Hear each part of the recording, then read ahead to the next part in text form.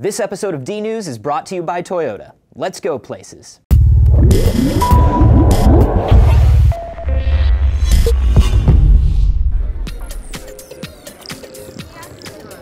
Hey guys, Anthony here for D News at Maker Faire 2013 with Idan, who is the CEO uh, of Incident. You guys just made the the gTar, gTar, Yes, the gTar.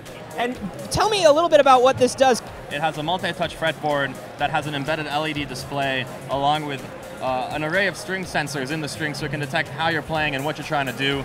And what's really cool about it is that it allows you to dock an iPhone right into the body. If I hook this up and I want to like learn how to play something, what does that look like? What do I do? Yeah, so this is the app that we developed. This is the gTar app, and in here you can go and you can choose a song mm-hmm. out of a list of a bunch of different ones.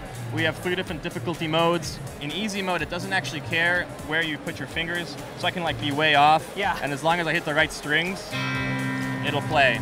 You can go and you can change the difficulty, like to say medium mode. And in medium mode, it actually cares what note you play. So if I hit like the wrong note, nothing will happen. Only if I hit the right note will it play.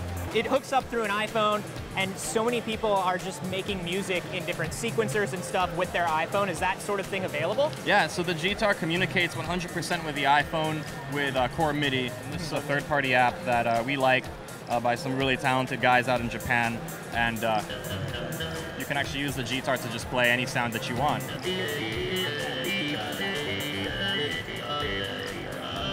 That's awesome.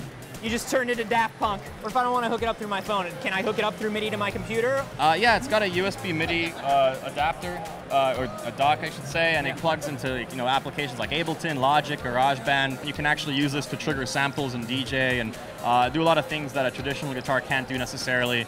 Um, and also, if you've seen kind of a DJ play in, a, in a nightclub and they're kind of behind their laptop and you're like, are they checking Facebook? Like, what are they doing? uh, this can maybe solve that problem a little bit. Is this available now? Can we pick one up now? Yeah, so we're shipping now, and you can get them on our webpage. And uh, yeah, And how much are they? uh, they're $3.99 right now. Awesome. Thanks so much, Idan. Uh, thank you. This thing looks awesome. Maybe this is the thing that will finally let me learn the guitar. I don't know. And thank you to Toyota and their new RAV4 EV for making our Maker Faire coverage possible. We have so many more Maker Faire videos. Click the playlist down below to check them out and subscribe for more D News.